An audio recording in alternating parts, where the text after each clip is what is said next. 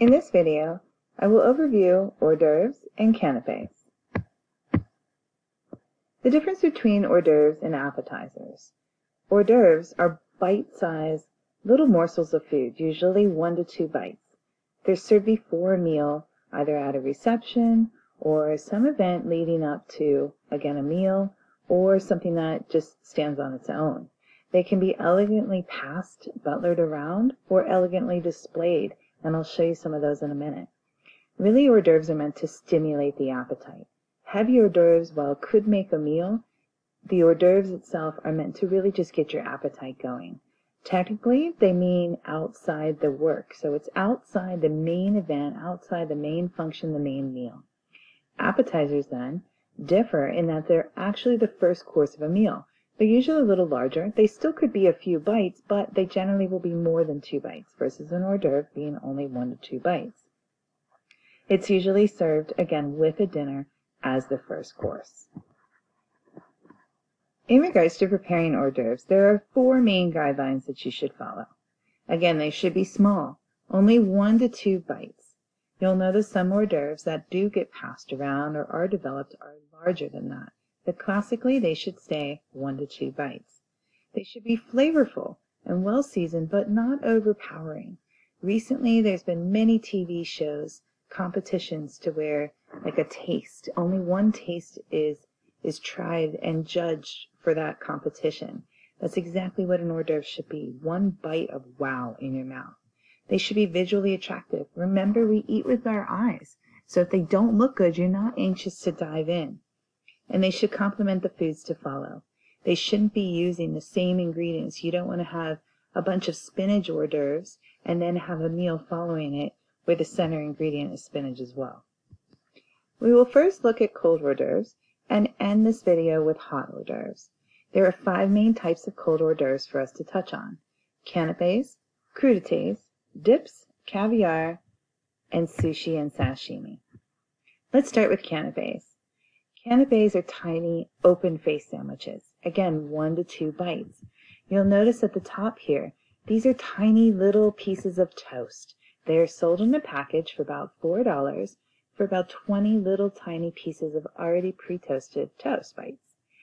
You can see they have some type of spread underneath the shrimp, and then the shrimp is the body with a dill sprig coming out as well as some caviar on top as a garnish. There are three main components to every canape, but truly four when you think of it in classical terms. The three main components would be your base spread and garnish. In classical terms you would have a base, a spread, a body, and a garnish. So let's take this shrimp canape up top. You have the toast point as your base. You have this spread here, which adds flavor as well as really protects the moisture from getting into the toast point and making that soggy. You have the shrimp as the main component here, and then the garnish would be your caviar and your dill. Again, whatever your base would be, you want to make sure that it will support your overall canape. Most times hors d'oeuvres are going to be eaten as finger food, so you want to make sure you're not picking up that piece of, of toast and it crumbling and falling right apart. That spread, again, is a moisture protector, but will add the flavor and typically is going to be piped on to give it a, a better texture as well as to give a little height to your canape. The garnish then can be simple, but remember all garnishes should have a point.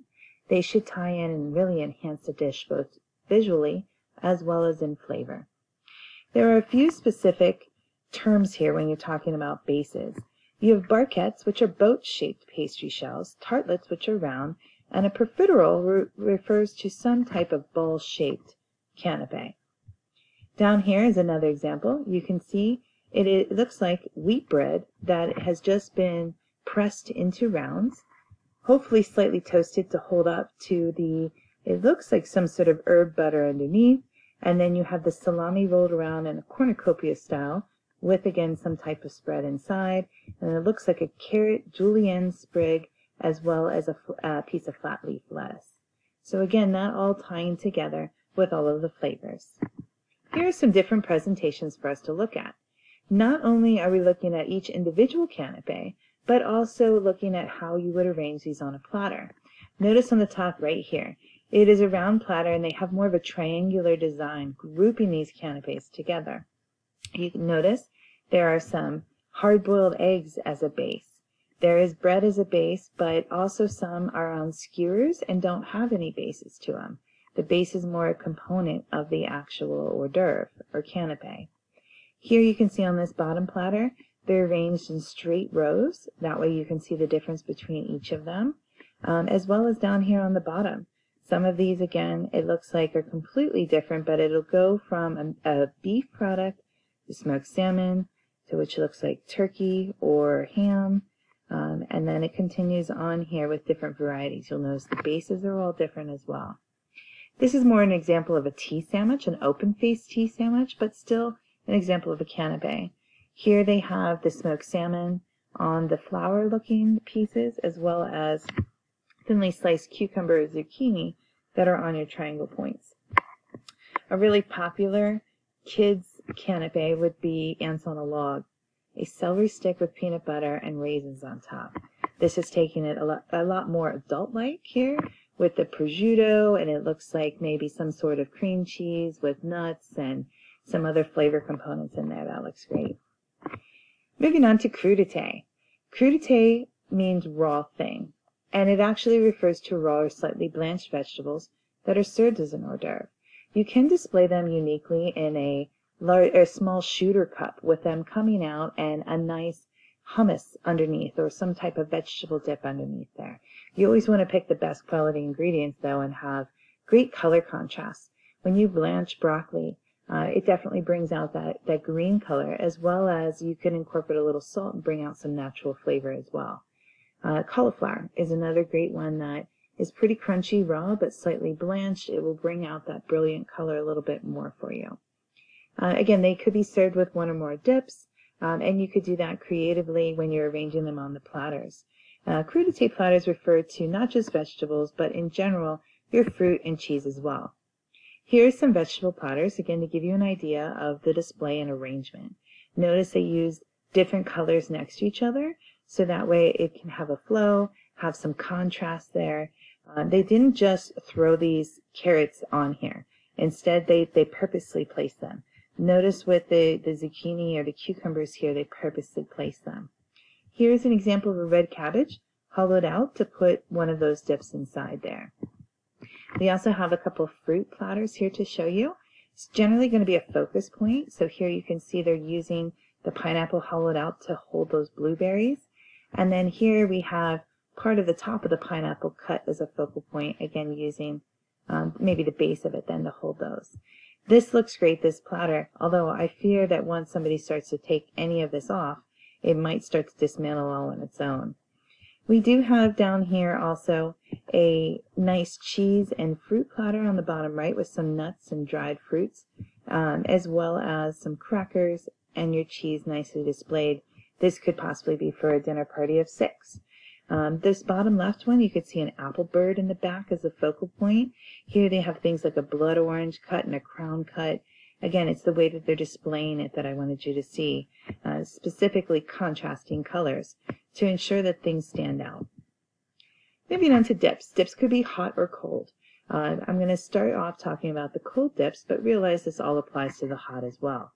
Different accompaniments could be bread, could be vegetables, crackers, pita toast points, you, you name it. Uh, most are going to, well, I shouldn't say most, some are going to be mayo based. Some will have a cream cheese or a sour cream base. Um, and some of them are purees, such as a hummus is going to be a chickpea puree that has a, a tahini, a sesame paste in it. The service and presentation, again, is something to be concerned about to make sure that you can adequately serve your guests. You'll notice at the top here, I have a picture of a bread bowl that has a dip in it. This is, this is a great way, especially when you're serving a hot dip, for all the extra grease or oil to, to soak up into that bread and then offer that as as an additional component of your dip to enjoy with it as well. Um, it's it's a natural bowl. I think it works really well with the presentation as well as the inside bread that you remove. You can serve with it as an accompaniment there as well. I didn't mention chips. Obviously, tortilla chips are great with your guacamole or salsa. Here's a mango salsa pictured. Uh, at the bottom here, you can see these cups These are this is it looks like a taco salad served in individual sized portions or a taco dip. Here using a head of iceberg lettuce to then put your probably some type of bacon dip inside and then serving it which with what looks like pumpernickel pitas here. Uh, again, you can see the different presentations mainly when you go to garnish your dips. You're going to be working with ingredients that are already within it and pulling it out. You'll notice here with the guacamole, they have cilantro or the lime with the salsa. And pulling out ingredients that would already be in it. Caviar. I'd like to move on to caviar. True caviar comes from Russia, comes from the Caspian Sea there, and it comes from the sturgeon fish specifically. You'll notice the sturgeon fish pictured here at the bottom. There are three main types of caviar. Beluga, this is the most expensive, it's the largest, it's a dark gray, and the eggs are very well separated. Osetra then is going to be your medium size. It's more of a golden yellow brown and oily. It's considered the best tasting. Again, not the most expensive, but considered the best tasting. And then you have Sevruga, which is going to be your smallest caviar. Again, all three of these are the fish roe coming from the sturgeon fish, specifically in the Caspian Sea. You'll notice here at the bottom there's American sturgeon caviar, and there's salmon caviar. All fish have roe, it's just a matter of how prized they are. You can see in this picture here, this is the salmon roe. I also have some whitefish and some lumpfish caviar. This black lumpfish caviar I can get for about $9 in the grocery store in the dry food section where your canned proteins would be. As far as the beluga, osetra, sevruga, you're talking $100 for an ounce and they are under lock and key and you have to specifically request them. Um, the more classical true caviar has a lot of reaction with different products, so it's important that you know how to properly serve it. Before I move on to that, there is also pressed caviar, which is made from Osetra and Sevruga, and it's pressed together and more packed. It is also less expensive than your beluga or Osetra would be. When you are presenting your caviar, it's important to have a non-metallic bowl. The caviar will react with any stainless steel or aluminum products that you have. So a non-metallic bowl such as a glass bowl that's served on ice to keep it under 32 degrees. Be careful your spoon also has to be non-reactive. The common items that it is served with are bellinis. This is a picture of the bellinis buckwheat little pancakes as your base. Or you could use buttered toast. You could have eggs then that are cooked and separated. You'll notice the, the whites as well as the yolks. We have some onions here, some chives, some capers, sour cream, you have or creme fraiche, lemon, and radishes are all typically served with your caviar. Moving on to sushi and sashimi then. Both include raw fish, but sashimi is solely the raw fish, whereas sushi is more so the term that refers to the raw fish that's served over or on seasoned rice.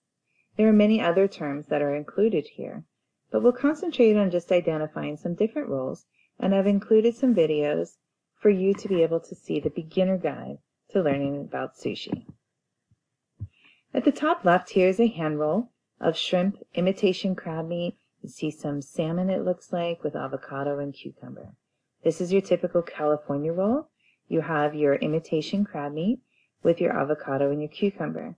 With the orange smelt eggs on top, it is now an Orange County roll.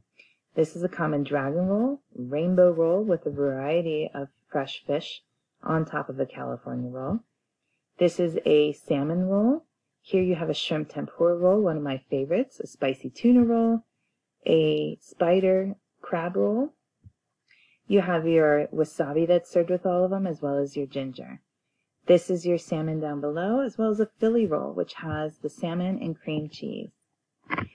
Ending with hot hors d'oeuvres, there is a variety, including your hot dips, as well as filling pastry shells and small skewers that are served hot are called brochettes. There's meatballs, stuffed mushrooms, filled dough balls such as your Wellingtons, phyllo triangles such as your spanakopita, rumaki, which are bacon-wrapped water chestnuts. There's a large variety of hors d'oeuvres. Include your sanitation skills in maintaining that you are not using bare hands with finishing any of these. I hope you've enjoyed the video. Thank you.